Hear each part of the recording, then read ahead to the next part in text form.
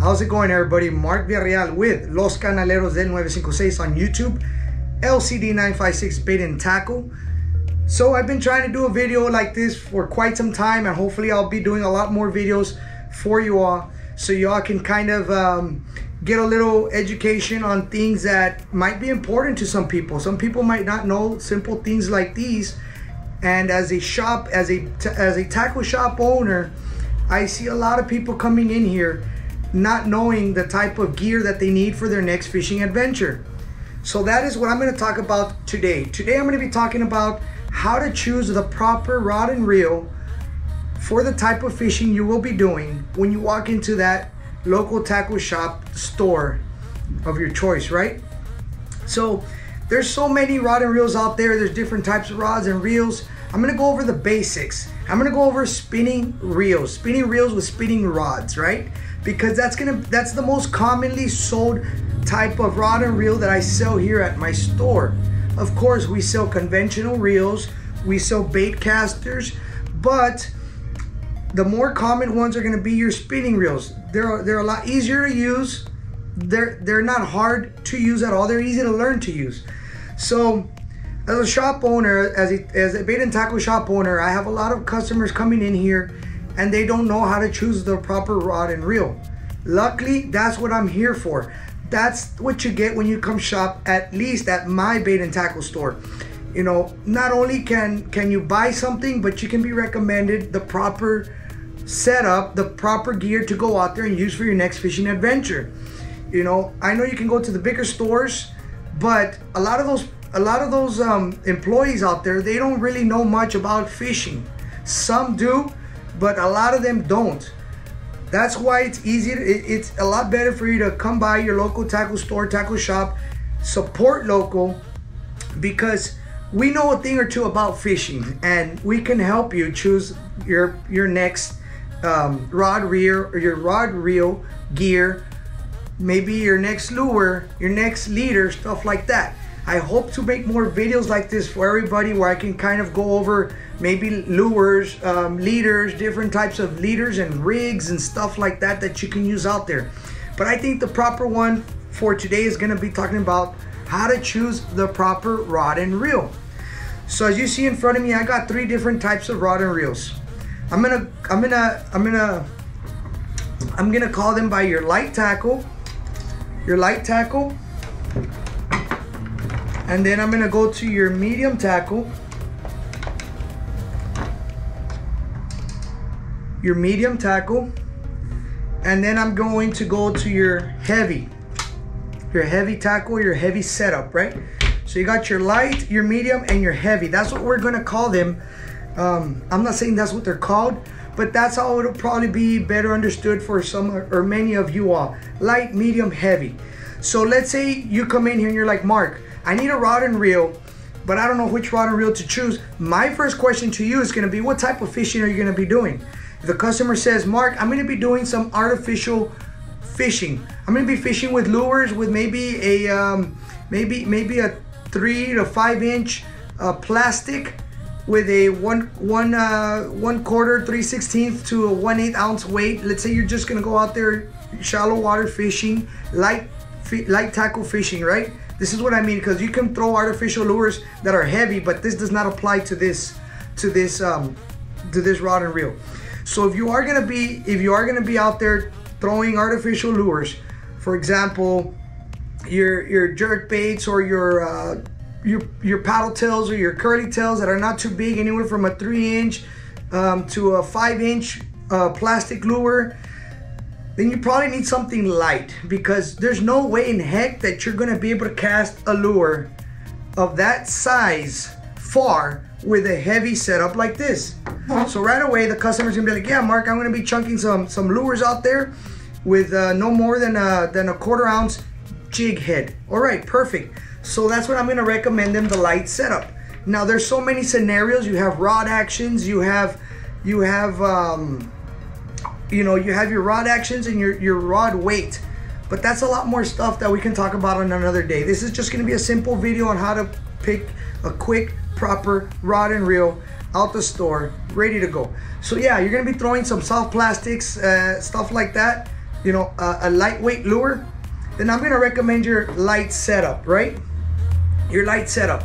This is a seven foot rod. It can be any, any, it can be a six foot rod, a five foot rod, but the ideal size is a seven foot rod. This is gonna be your more common ideal rod here for everybody. So this is your seven foot rod and it's accompanied by a 2500 reel. This is a Shimano. I'm not gonna get into specifications on the type of the brand of rod and the, the, the, the reel, but um, what you need to know mainly is you need a maybe a seven foot medium.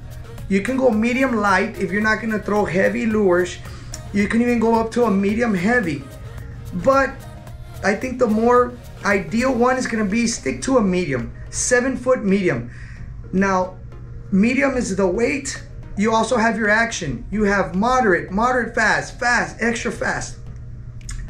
When it comes to actions, it just just remember, moderate is a soft tip. Fast is gonna be a more uh, solid, more stiffer tip. Depending how you like to fish. If you like to fish fast, if you like to retrieve your lure fast, or maybe jerk that lure fast, then you want to go with a fast action. If you're a slow fisherman with like a finesse, a finesse fisherman, a lazy uh, bait um, fisherman, then go with your moderate action. That's all I'm going to talk about actions and between your moderate and your fast action. So remember, seven foot medium, seven foot medium light rod, seven foot medium heavy rod. All three will work.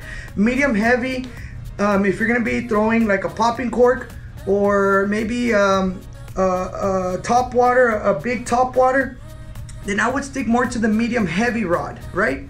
A medium heavy rod because it's gonna be able to take on a little bit more weight, okay? And always remember 2500, even a 3000 reel. Can you use a 4000 reel? Yes. Can you use um, can you use a heavier rod? Yes, you can. But if you want to get the utmost performance out of it, go lightweight. Why? Because you're throwing lightweight lures. You know, you want to be able to swing that lure far, so you need some light line, maybe anywhere from 10, 12, 15 to 20 pound test braided line on this setup right here, okay? So you already know. You already know the line you need, you already know the type of rod you need, and you know the type uh, or the size of reel that you need. Now, reel preference, you can go with Shimano, Penn, Daiwa, whatever you desire. What I like about Shimano is when you're going light fishing, Shimano reels are always gonna be on your lighter side. Daiwa is very good with that too. So if you if you rather go with Daiwa, yes. Penn is gonna be a little more on the heavier side. Me, I like to go a little a little lighter. You wanna make sure you have a light reel for a light rod so it can balance properly and you can get the utmost performance out of it. So you already know. And there's one more thing that I gotta touch base on is graphite. Go with a graphite rod. Don't go with a, a E-glass or a fiberglass rod if you're gonna do some light fishing because those rods are heavier. And when it comes to graphite, graphite's gonna be a lot lighter. Is it more sensitive? Yes, but that's where you have to take care of your rod. You have a graphite rod, so you gotta use it properly. That, now that's another subject that we can touch in future videos on how to properly handle a rod so you can um, take care of it and avoid your rod uh, you can avoid your rod from snapping. So we went over light tackle. Okay, let's say the customer comes in. He's like, Mark, I'm going out there. I'm gonna be chunking. I'm gonna be chunking bait um, with like a one ounce, one ounce, one and a half ounce lead weight. I'm gonna be chunking bait. All right. So you're gonna be chunking bait. What type of bait? Yeah, I'll probably put some cut fish or maybe a little bit of a whole live fish or whatever. Then we'll go to the medium action tackle rod, right? So this right here is, we're still sticking to a seven foot rod, but this one is already gonna have a little bit more weight capacity. This one says you have up to a one ounce casting lure. What well, says lure weight? Lure weight, it says one ounce. Compared to the light one that I showed you, the light one is going to say one quarter to a half an ounce lure weight.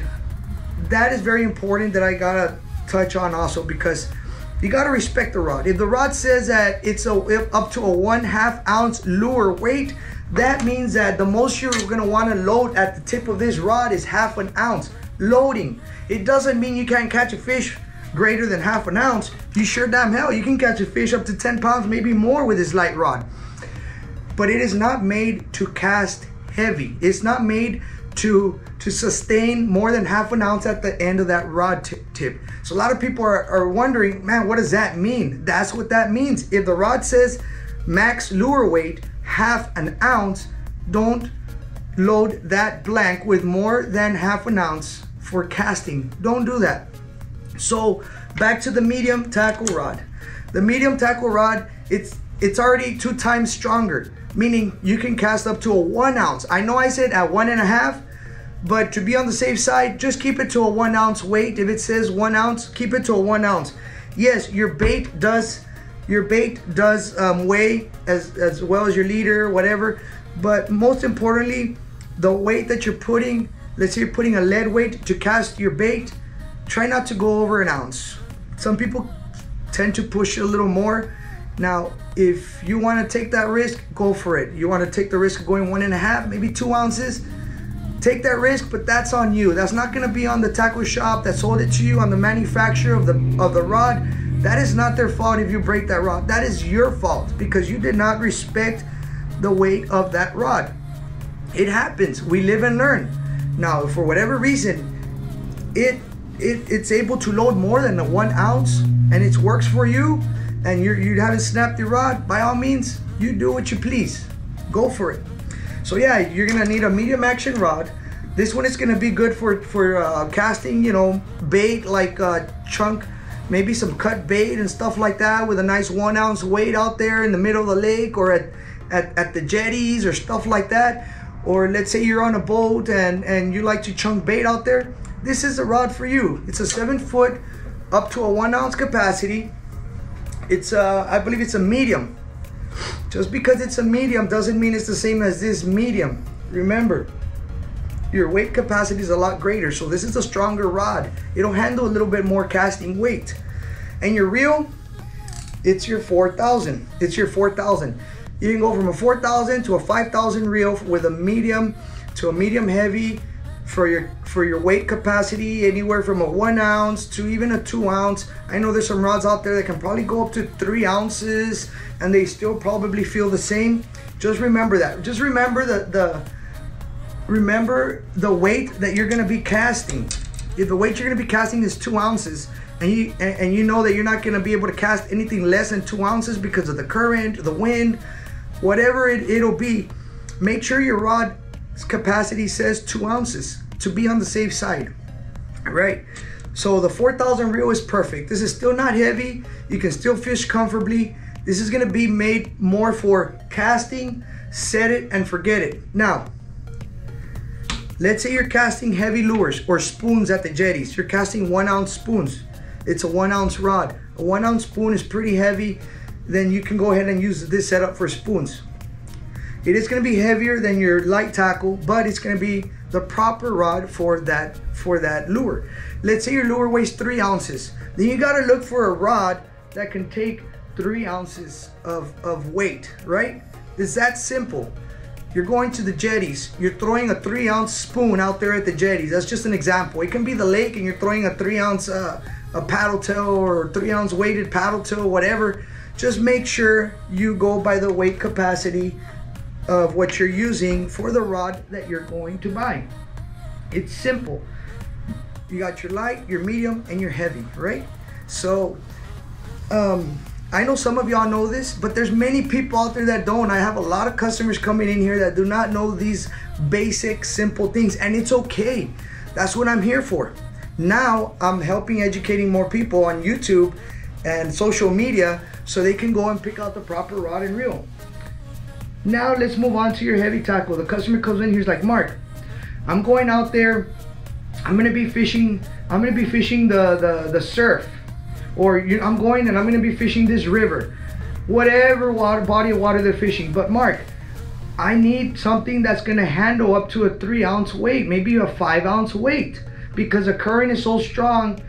I need something that can handle that weight, and because of the type of fish we're targeting, you know, I need some some reel that can handle that type of fish. They're doing alligator gar. They're doing monster catfish fishing. They're doing bull red over there at the jetties, or or big redfish, or big black drum at the jetties, or at the piers, or whatever.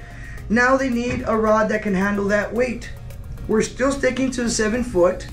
Seven foot, remember, it's your ideal size of rod. We're sticking to seven foot. So now this one says one to six ounce lure weight.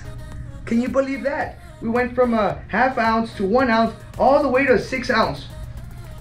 Yeah, Mark, sometimes I gotta throw a five ounce weight out there because the current's so strong. What do I need? Here you go. This is a rod you need for that weight. You can load it up to six ounces of weight and this rod is going to handle it. Now, Mark, how about reel? Well, simple. This is a this is a 60 equivalent to a 6,000. I'll tell them I'll tell them straight up. You can go from a 5,000 to an 8,000. Well, Mark, what do you suggest? I'll tell I'll ask them. Do you need a lot of line? Do you need a lot of line? Does the do you need a lot of line to fight that fish? Do you need a lot of line to cast that fish? Maybe deploy your your your your uh, your bait out there? Yes, Mark, I do. Well, I'll tell them stick to a 6,000 to an 8,000. Why? Because the spool is bigger, you get more line capacity. Sometimes necessarily it does not mean that the 8,000 is stronger than the 6,000 because in a lot of cases, a 6,000 to an 8,000, even a 5,000 have the same drag power. So that doesn't necessarily mean that, but that's more detailed stuff that we can go into. So I think a 6,000 would be on the safe side, ideally, with a seven foot rod that can handle anything from three, four, five, six ounces, depending, depending um, where you're fishing, what type of weight you will be loading on that blank. Now this rod, I believe it's not graphite. This is more of an E-glass. E-glass is like a fiberglass material and those can handle a lot more. You don't want to be chunking lures with this rod. It's like trying to chunk a lure with a broomstick. It's not going to travel far. It's going to go from here to there. So what do you need for an artificial lure? You're going to need to go light tackle. So depending on the on the size of rod and reel you're using, or better say, depending on the reel that you're using, let's talk about fishing line. And I'm gonna talk about braided line. I'm not gonna talk about monofilament line because 99% of my customers are using braided line. Not really anybody's using monofilament line. I know a lot of my offshore guys, they use mono, but we're not talking about offshore fishing. We're talking about your, just your simple, more commonly type of fishing. So remember, your 2500 reel, you're going with a braided line. What do I, a lot of people ask me, what line do I put? Because I, I got a lot of customers that wanna, they wanna put 50, 60 pounds on a 2500 reel. It's pointless. Those reels are not made for that. Those reels gears are so small when you put so much pressure, you can break your reel. Not only that, but you're not gonna cast far with some thick line on a little reel. So this 2500 reel, my recommendation of braid 10, 12, 15 to 20 pounds. Any of those that you desire, go for it. These reels, most of them have any anywhere from a 9 to a 22, 24 pound drag power. Doesn't mean you're gonna be using all that drag, but yeah, I would recommend anywhere from 10 to 20. Now Mark, what's the difference between 10 and 20? Easy, 10 is thinner, 20 is thicker. What are the advantages? The advantages of the 10 is that you're gonna get a lot more line in your reel and you're gonna cast a lot farther. Now your advantages of a 20 is that if you're gonna be if you're gonna be fishing a little more aggressively, not letting that fish do its thing and reeling in and tug of war back and forth, and you're more of a, a, a of more of um more aggressive fisherman, stick with 20 because 10 can bust. But if you take your time, you're a good fisherman, I would stick with with 10, not 20. So if you're not sure, go to 15. Go in between, right? 2,500 reel, 3,000 reel, anywhere from 10 to 20 pounds. Your 4,000 reel. I always like to tell people, let's say you got a 4,000 reel, 4,000, you, you cut out um, two zeros, it, st it stays with a 40. Some people want to go aggressive, go ahead and put 40 pound. Me personally, I probably go 30 pound max on that 4,000. 30 pound max. If you got the extra money to waste on line, and you're a good fisherman and you want a lot of line capacity, go 20 pound on that 4,000. On your 6,000 reel, remember 6,000, take out two zeros, it leaves you with 60. Put 60 pound test. Put a, a 60 pound test max. Don't go 100. There's no need for that. There's no way that reel has a 100 pound drag power. Do not go with a 100 pound. If you want to max it out, go 60. If it was me, I would go 40. I wouldn't go more than 40. I would even go 30 to 40. Why? Because that's the type of fisherman I am. The, the, the, thinner the line is, the lighter the line is, the better, more smooth, and the farther cast you will get. Little things like that will make a difference. So you got your small, medium, and your large, right? Small, medium, large. Let's just put it like that. Light, medium, heavy. so yeah, next time you go into a tackle shop and you're not sure on, on, on what type of reel or rod to buy, always remember what type of fishing you're doing. And most importantly, the weight that you're going to be loading that rod with. Okay? Now, just a refresher weight that you're loading that rod with. Yeah, if you're gonna be loading that rod with a one ounce weight with a little piece of bait or whatever, or maybe a one ounce lure or a one ounce jig head, simple. Go with a rod that can handle up to one ounce, maybe a two ounce lure weight, right? Don't go more than that because that's gonna be too too too much for that for that weight capacity. You're gonna be throwing a little one one eighth of an ounce jig head to maybe a quarter ounce jig head. Stick to your light, your light setup, you know, and always remember to read the rod. Most rods out there will have specs on them. Read those specs. They're there for a reason. They're there to respect the rod and for you to handle and take care of your rod and not break it.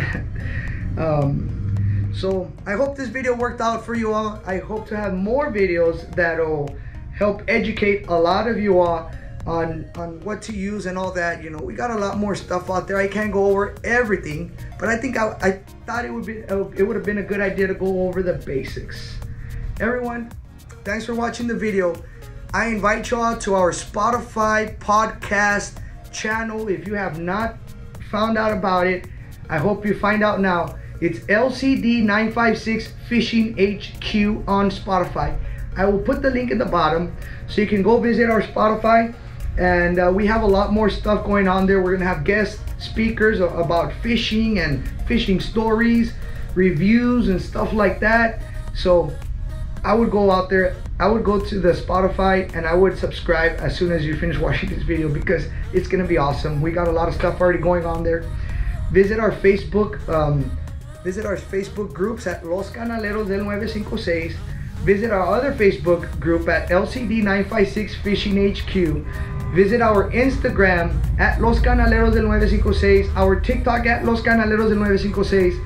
Because since day one that I started making videos for everybody, I try to help educate as much as I can. There are things that has worked for me. I'm not saying I'm a professional. I'm not saying that I know it all. But if it helps some of you all, that'll make my day. I know I did something good for you all, right? So check out our, our social media platforms. Do not forget to subscribe if you like this video. If you want to see more of this video, comment away. Like the video, please. Like this video so a lot more people can view it and it can be a lot. It can be viewable for a, a more larger audience. You know, if you learned something today, um, please hit that like, hit the subscribe, put a comment. Let us know what you want, what you want us to talk about on our future videos, and we might just do that. Much love on behalf of Mark Villarreal, Los Canaleros del 956. LCD 956 Bait and Tackle.